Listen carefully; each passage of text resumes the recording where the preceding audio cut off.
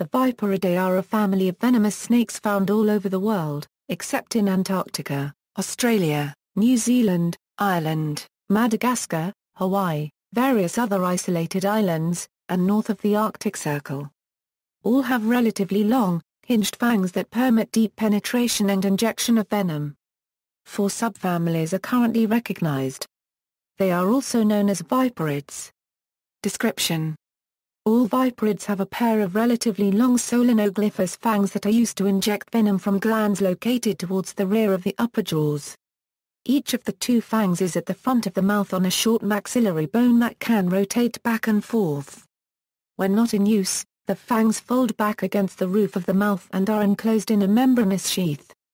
The left and right fangs can be rotated together or independently. During a strike, the mouth can open nearly 180 a degree and the maxilla rotates forward, erecting the fangs as late as possible so as the fangs do not become damaged. The jaws close on impact and powerful muscles that surround the venom glands contract to inject the venom as the fangs penetrate. This action is very fast. In defensive strikes, it will be more a stab than a bite. Viperids use this mechanism primarily for immobilization and digestion of prey. Secondarily, it is used for self-defense, though in cases with non-prey, such as humans, they may give a dry bite. Almost all vipers have keeled scales, a stocky build with a short tail, and, due to the location of the venom glands, a triangle-shaped head distinct from the neck. The great majority have vertically elliptical, or slit-shaped, pupils that can open wide to cover most of the eye or close almost completely, which helps them to see in a wide range of light levels. Typically, vipers are nocturnal and ambush their prey. Compared to many other snakes, vipers often appear rather sluggish. Most are ovoviviparous, giving birth to live young, but a few lay eggs. The word viper is derived from Latin vivo equals I live, and pario equals I give birth. Geographic range, viperid snakes are found in the Americas, Africa and Eurasia.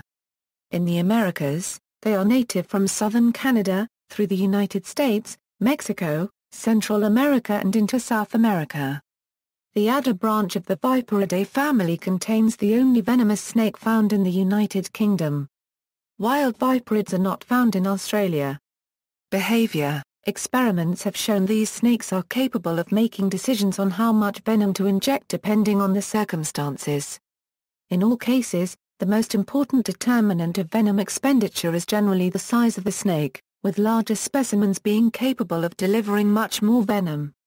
The species is also important, since some are likely to inject more venom than others, may have more venom available, strike more accurately, or deliver a number of bites in a short time.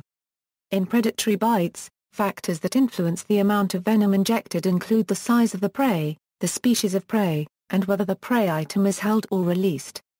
The need to label prey for chemosensory relocation after a bite and release may also play a role.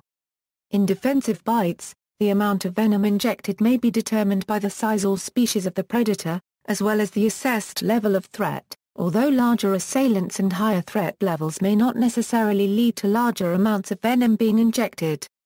Venom Viperid venoms typically contain an abundance of protein-degrading enzymes, called proteases, that produce symptoms such as pain, strong local swelling and necrosis, blood loss from cardiovascular damage complicated by coagulopathy, and disruption of the blood clotting system.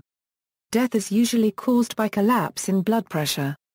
This is in contrast to elapid venoms that generally contain neurotoxins that disable muscle contraction and cause paralysis. Death from elapid bites usually results from asphyxiation because the diaphragm can no longer contract. However, this rule does not always apply, some elapid bites include proteolytic symptoms typical of viperid bites, while some viperid bites produce neurotoxic symptoms.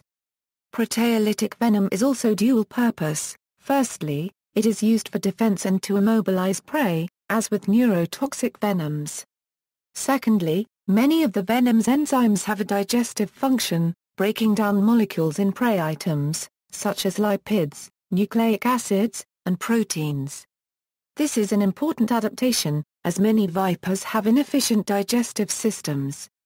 Due to the nature of proteolytic venom, a viperid bite is often a very painful experience and should always be taken seriously, though it may not necessarily prove fatal.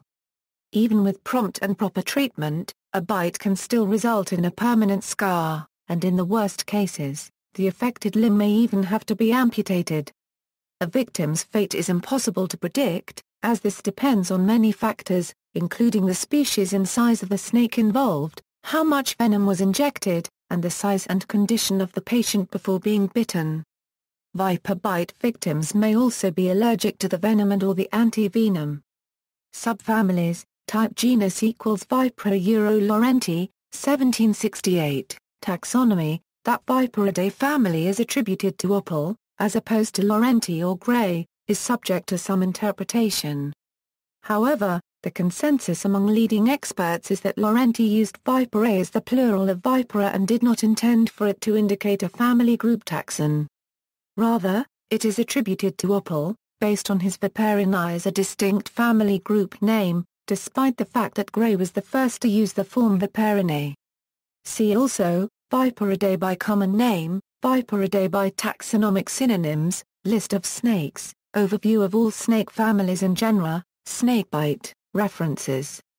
Further reading. External links, Viperidae at the Reptarium CZ Reptile Database. Access November 3, 2008. A Viper. The American Cyclopedia. 1879a, A Viper.